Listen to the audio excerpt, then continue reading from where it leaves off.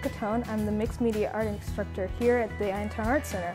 We had so much fun last year at hashtag Macomb Reads, and we're so happy to be a part of it this year in this uh, virtual uh, simulation. Uh, one of my favorite things to do is make stickers.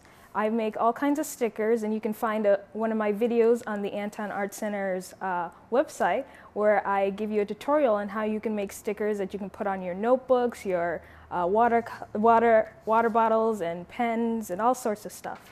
Uh, today we're going to be making a special type of stickers called book plates.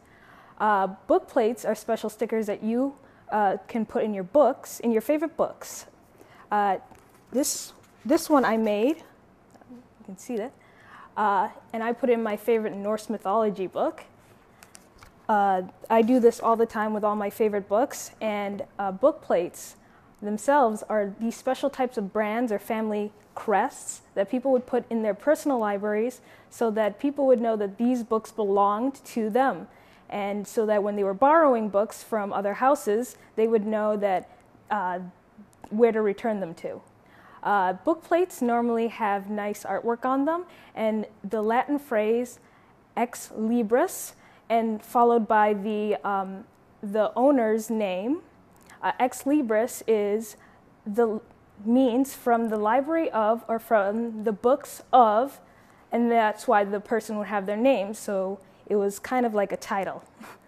um, book plates were very popular in the 80, 1800s and people would get custom designs and fill all of their books with them.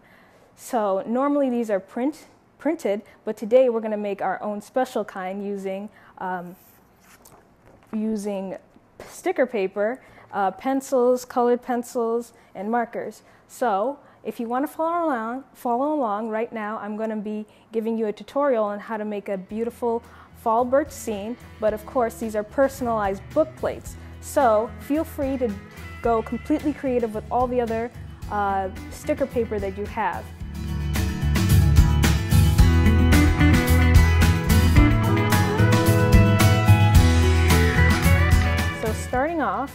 You're going to need your paper and just using one of these squares, you want to go long ways so it's, it's taller than it is shorter.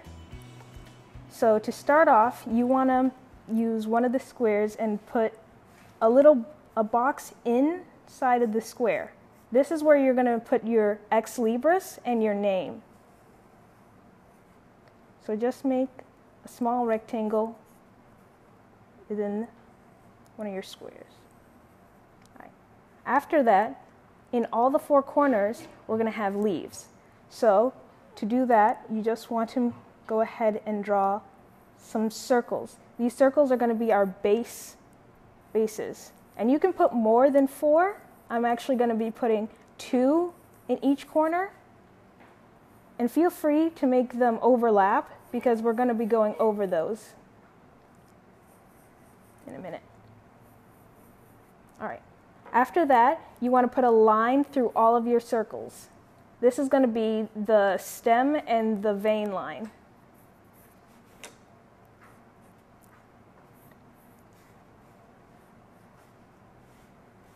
and they can be going whatever direction you want.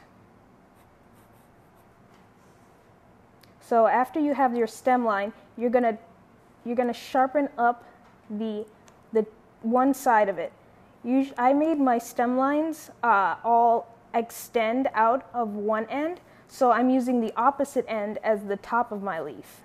So just add a point to that end. So all of your leaves.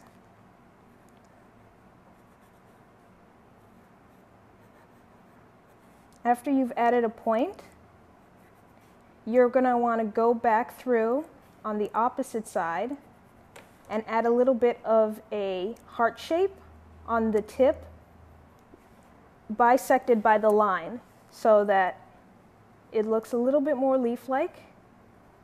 It's not just a perfect circle. Leaves aren't just perfect circles in nature. So it kind of looks like a heart right now. after you have all of your leaves, leaf shapes done, you want to go back in erase any extra lines in between from other circles or so.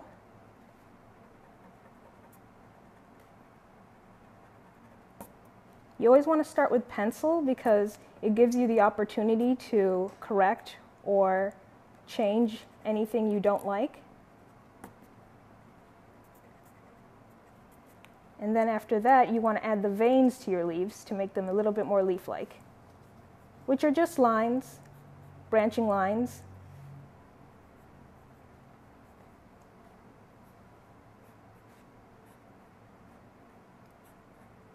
And then from that point, you want to add a little bit more detail to your stem. So just add a triangle shape to the end of, your, of, of the line you created for your stem.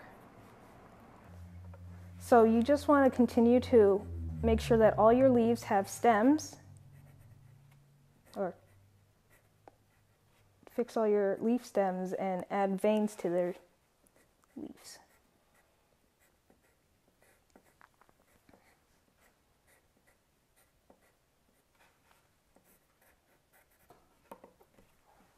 So at this point, you should have four or four or more leaves in each corner, and they should all have triangle stems on top and veins within the leaves. So from that point, we want to add the birch trees. So birch trees are these lovely white trees with these amazing like zebra stripes. So they're very easy to draw. They're pretty straight and narrow. So for our trees, we can just add some straight lines, some parallel lines to make the tree itself. I am putting these lines at an angle so it looks like this forest is a little tilted. So I'm adding three trees right now, and they're all going different directions. And then I'm adding smaller uh, thin parallel lines for the branches, mimicking the erratic shapes of the original trees I drew. And I'm just covering up most of the space, but I'm still leaving some white space.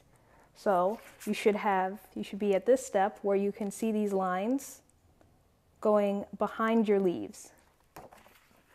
From there, I'm going to be drawing stripes across the birch trees to make to give them their iconic uh, beautiful zebra stripes.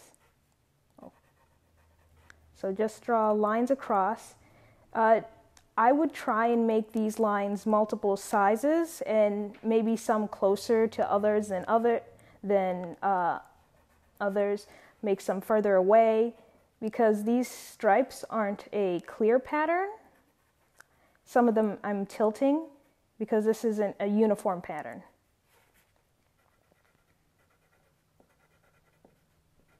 And between my uh, trees that I drew, I'm making them have different uh, numbers, number of stripes, so that they don't look like the same tree over and over again.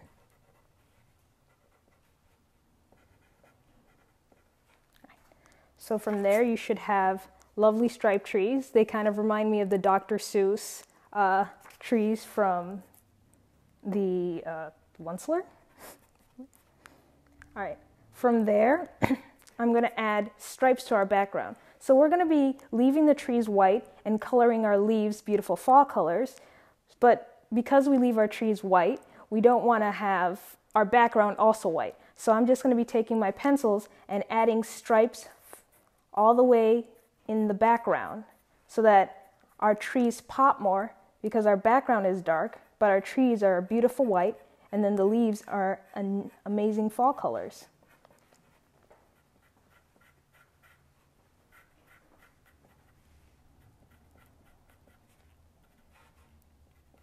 So any space that is not tree, I'm, I'm penciling in, and you can use marker for this nice and dark, making sure to leave any uh, trees and leaves white for now. So this is what you should have right now. From this point, I would recommend taking a marker and going over your lines so you can see them better. You don't have to do this, but I'm going to do this for my trees so they have a bit of a better outline.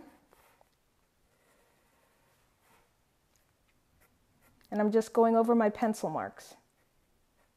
But if you like your pencil marks, go ahead and keep them.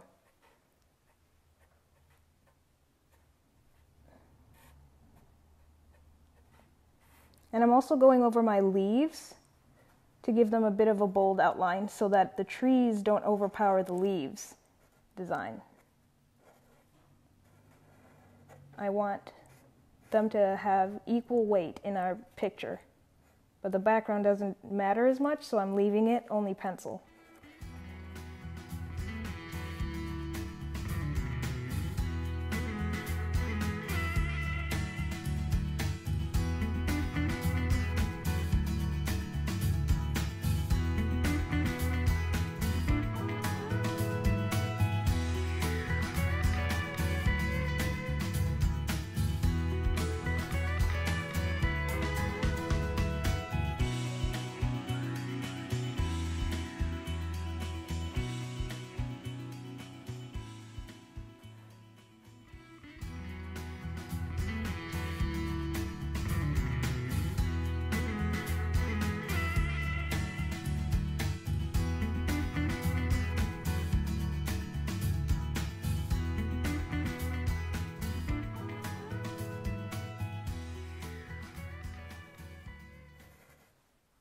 I should mention that it's okay if you go past the lines because you won't really see that you accidentally made a mistake. So it's all good. It's always good. Not to mention, make, mistakes make it personalized. So, all right. From there, I'm also going to outline the box so I know, so I can see a clear border between. All right.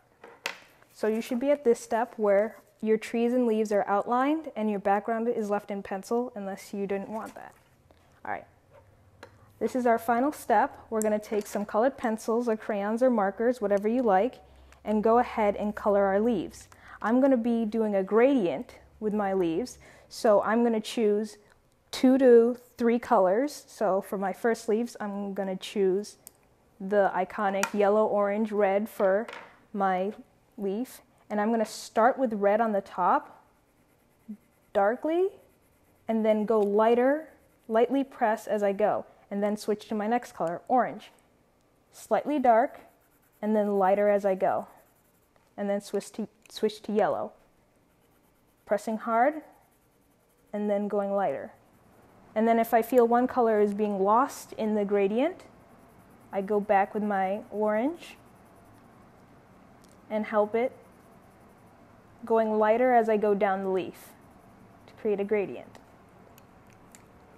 Then I want to sharpen up my red a little bit, going lighter as I go down the leaf. And then I'm going to continue this for all of my other leaves, switching colors if I want.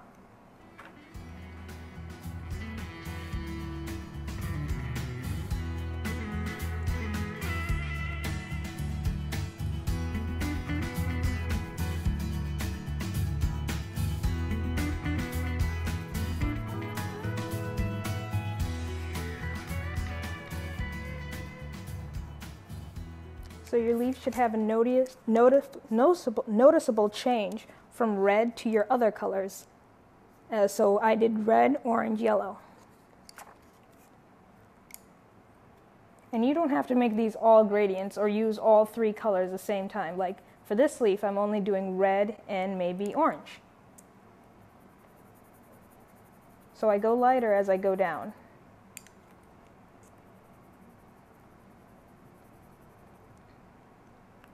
Or this one is going to be starting with a yellow and switching off to this orange.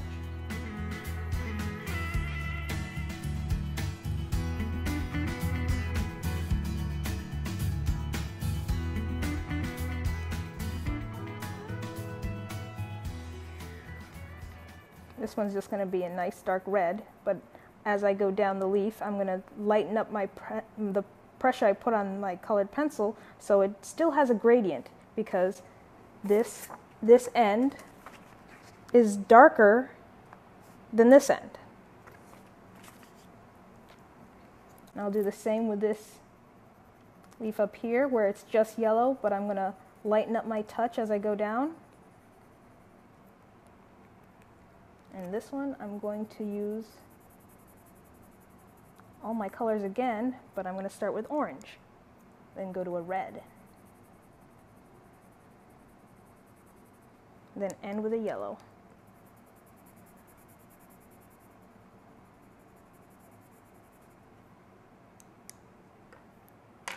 So when you're done, you should have some beautiful uh, fall colored leaves, some beautiful white, white birch trees, and a nice dark background. And from there, you can add your name and ex libris so that you can add this to your favorite book and everyone will know that this book belongs to you.